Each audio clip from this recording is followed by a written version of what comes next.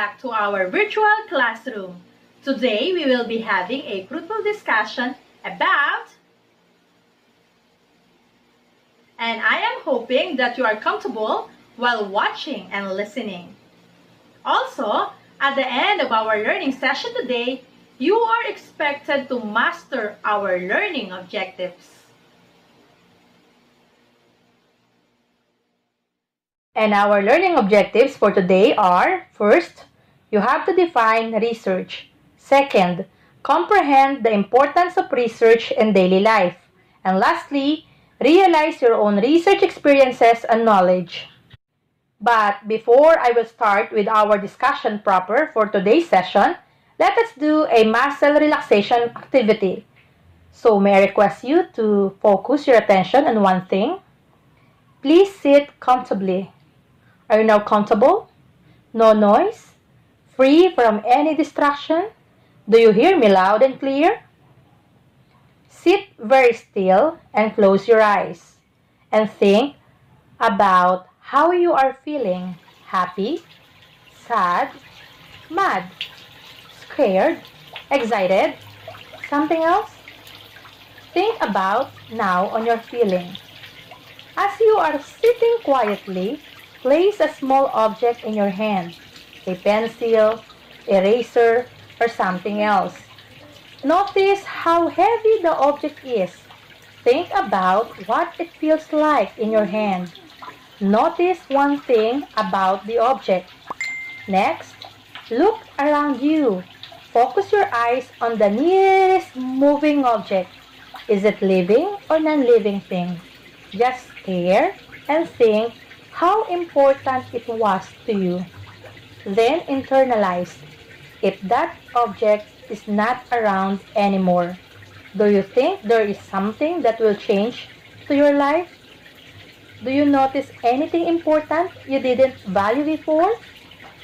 Alright, I think you feel really calm right now. Or maybe you feel like a blank sheet. Okay, here is the cue. We did that exercise because I would like you to reflect this question.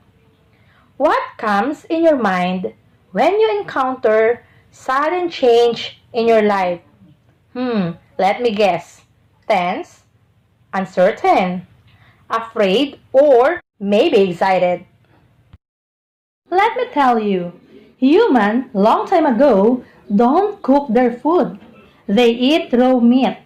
The moment they discovered fire and bring it inside their cave, the raw meat eventually smoked, and they noticed the sudden change to its taste and texture. Aha! Tastes good. Then, out of curiosity, they put the raw meat on the fire and tasted again. Aha! Tastes better. And there, that changed the palate history of the human being. So what this story means? Mm-hmm. You got it right. Human being shows the characteristics of being inquisitive, curious, and having intense hunger for improvement and development. And that is where our topic rooted. Research. And what is research anyway? What comes first to your mind when you encounter the word research? Experiment? Investigation? Or inquiry? Or maybe a product of development? Anyway, always remember Research is the systematic application of the scientific inquiry in order to find solutions to problems and contribute to the body of existing knowledge. Uh-huh. Actually, many students are afraid when asked to do research. This is probably due to the misconception that research is a job for professionals like scientists, DepEd and CHED employees, or a requirement for students who want to finish tertiary, master's, or postdoctoral program. As a senior high school student, you might have your own conception of research. Am I right? Further, in our session today, you will understand the importance of research in daily life. In other words, you will know that research simply means searching for an answer or discovering knowledge. It is a careful study that is done to find and report new knowledge about specific topic. It is designed and planned to collect appropriate data, analyze the collected data, tabulate and interpret data to better understand, describe phenomenon, as cited by Avila 2016. But the question is, why research is important in our daily life? Let me describe it one by one. And we will start with the facts that research gather relevant information, improve quality of life, understand history, and lastly, it helps people attain personal and professional development. When we say gather relevant information, that means the results of researches are used as a springboard in conducting more researches or in planning new projects. For example, a research on the basic needs of the target customers can help companies develop and market a new line of products. Sounds great? Okay, I will give you another specific example. SWS or Social Weather Station gather relevant information where they reported that Filipinos experienced great extent of stress based on their mobile phone survey dated May 4 to 10, 2020. They do survey on Filipino experiences by hunger and 68% experienced hunger. When it comes to job status, they reported that 58% has a job but not receiving a pay, while 51% has a job and receiving a pay. And on this table, by sex and age, you will see that women experienced greater stress than men. And people belong to late adolescent stage experienced greater stress. Maybe you are wondering, on why SWS or Social Weather Station had to collect data during the times of pandemic. Am I right? What do you think are the purposes of this mobile phone survey? Let me hear from you. You got it right! It will serve as a springboard in programs, plans, or projects of the government or private sectors in making improvements or developments toward the quality of people's daily life. And be reminded that research must improve the quality of life. Meaning to say, research undertakings are basically geared toward improving the quality of life. The major breakthroughs in the field of communication, transportation, medicine, entertainment, and food and nutrition are all possible because of researches conducted. Through continuous research, these breakthroughs are further improved to make people's lives convenient and comfortable.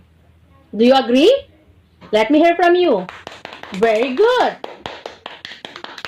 And I would like to inform you that during the onset of COVID-19 across the globe, researchers, educators, government leaders, private individuals, and scientists conducted various experiments, investigations, initiatives, strategies, and researches to combat the coronavirus spreads. Many people who were infected by the virus experienced difficulty in breathing. Imagine that? And that pushes organization to build a new fleet of ventilators in the United States. But the mission failed as reported by the New York Times published date dated March 29, 2020. And many countries never stop in doing innovations to address the scarcity of medical equipments during the pandemic. They are all looking forward to expand the number of ventilators.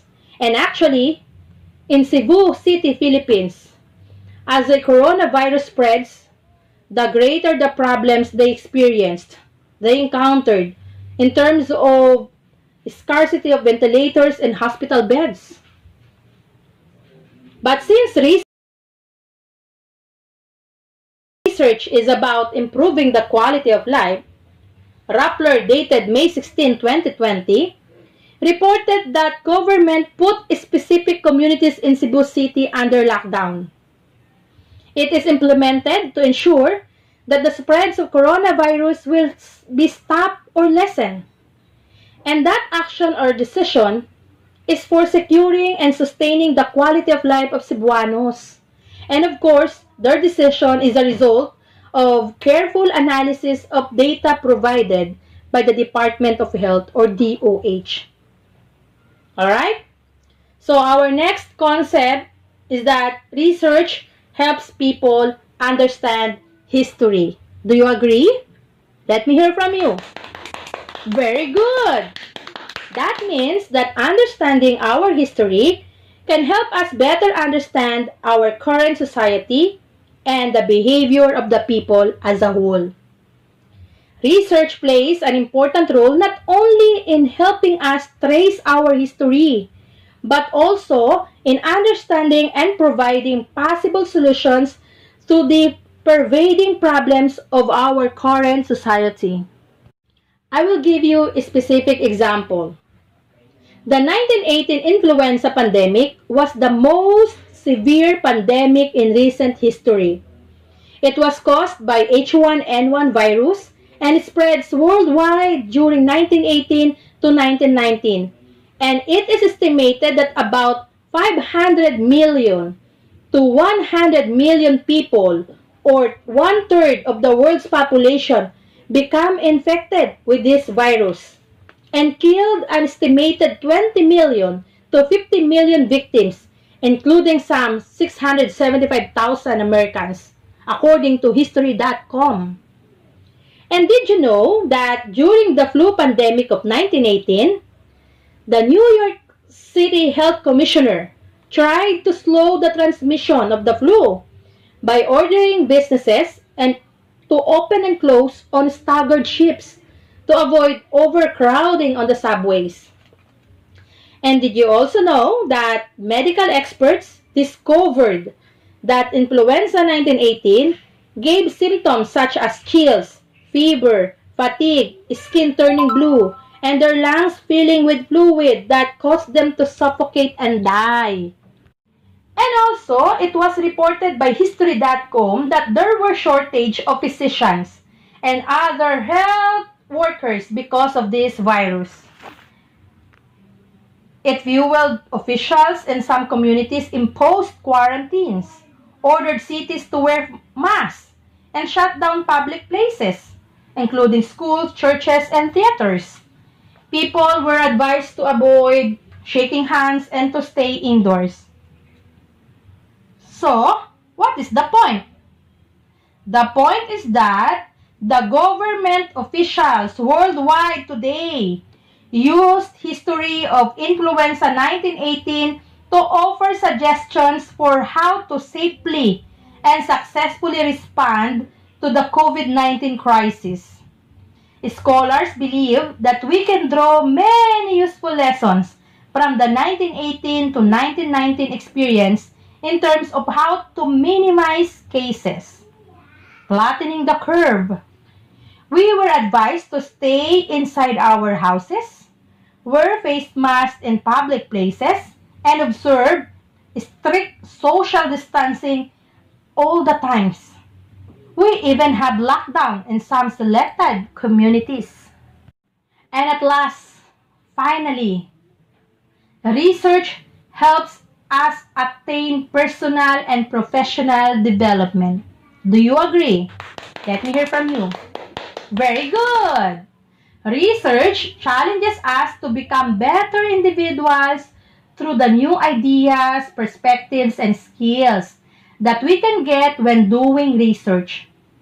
Personally, you will gain more knowledge and thus widen your perspective about life. And professionally, you will not only meet your academic or school requirements, but you will also advance to a more challenging and exciting world of learning. Alright? As we are done to our lesson proper, try to ask yourself, have you experienced writing an essay or narrative report during your junior high school grades? If your answer is yes, then lucky for you because you have already a meaningful experience and knowledge in crafting ideas into a piece of paper. The only thing that you need now is very good to internalize, try to reflect on how you will make your journey in Practical Research 1 really meaningful and contributory to the school community as a whole. Also, try to think on these following questions that I will give to you. Listen carefully. Number one, why is there a need to conduct research? Number two, what practical benefits can you get from research? Number three, as senior high school student with your respective track and strand, do you still need to conduct research? Why or why not? And now, as you are facing a lot of change in society today, how do you plan or see your research journey in new normal in K-12 education? Are you going to conduct a study that will benefit students, parents, school or community? How it may help people or educational system in times of pandemic? With those reflective questions, do you find research important to our daily life? Yes? Very good. You got it right. And anyway, before we end our learning session today, kindly answer this quick assessment. Are you ready? Kindly get your pen and your paper. Alright, listen carefully. I will read the question and the choices for you. Number one, the results of research are used as a blank in conducting more researches or in planning new projects. Letter A, springboard. Letter B, future plan. Letter C, draft. Or letter D, program. Are you done? Okay, let us proceed to number two. Research undertakings are basically geared toward improving the blank. Letter A, quality of life. Letter B, quality of self. Letter C, program. Or letter D, history. Are you done writing your answer? Alright, let us proceed to number three. Understanding our history can help us better understand our current society and the blank of the people. Letter A, action. Letter B, thinking. Letter C, speaking. Or letter D, behavior.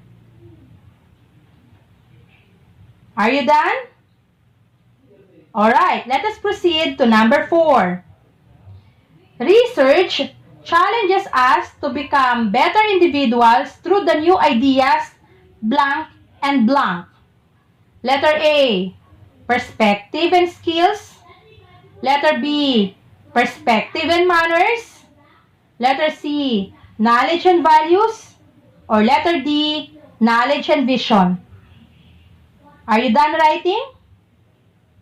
Okay, let us proceed to number 5. Blank is the systematic application of the scientific inquiry. Letter A, research. Letter B, essay. Letter C, narrative report. Or letter D, assignment. I think you are done writing all your answers. So, I am so amazed. Wow, you finally finished the session. I am looking forward for our next session with your active participation again. And I would like to thank you for listening. And of course, happy writing!